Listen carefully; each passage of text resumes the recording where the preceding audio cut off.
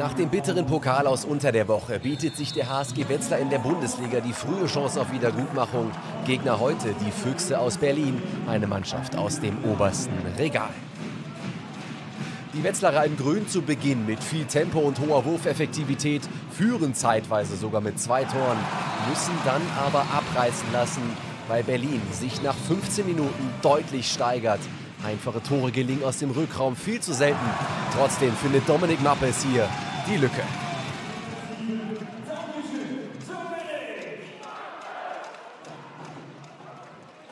Den Gastgebern gelingt zwischen der 18. und 28. Minute lediglich ein Tor. Berlin hingegen gnadenlos effektiv im Angriff. Und hinten bleibt der Laden größtenteils dicht.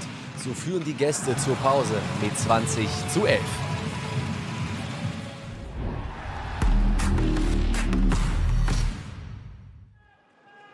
Wetzlar wechselt nach der Pause auf der Torhüterposition. Für Klimke jetzt Zuljakovic zwischen den Pfosten und der sorgt mit insgesamt acht Paraden dafür, dass Wetzlar über weite Phasen den Rückstand zumindest bei minus acht halten kann.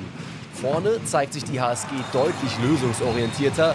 Wie so oft läuft aber viel über den Rückraum. Entweder über Mappes oder Stefan Czabor, der aus dieser Situation noch das Maximum rausholt. Bester Wetzlarer Werfer ist heute aber Domen Novak, der schlussendlich auf sieben Treffer kommt. Hier ein Tor aus einem fast unmöglichen Winkel.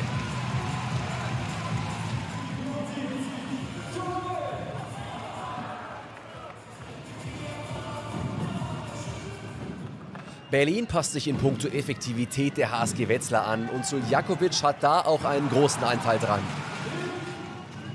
Die Füchse wechseln im Rückraum fleißig durch und so kommt Max Benecke auf seinen ersten Saisontreffer. Und Fabian Wiede erzielt mit diesem Treffer das wohl schönste Tor des Tages. Es ist aber auch das kurioseste.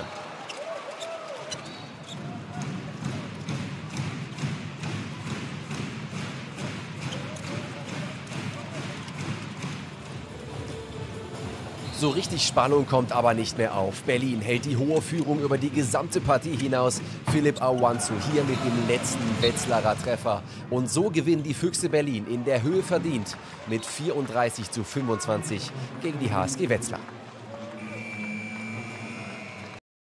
Noch mehr Handball gibt es übrigens hier. Hier draufklicken. Auf geht's.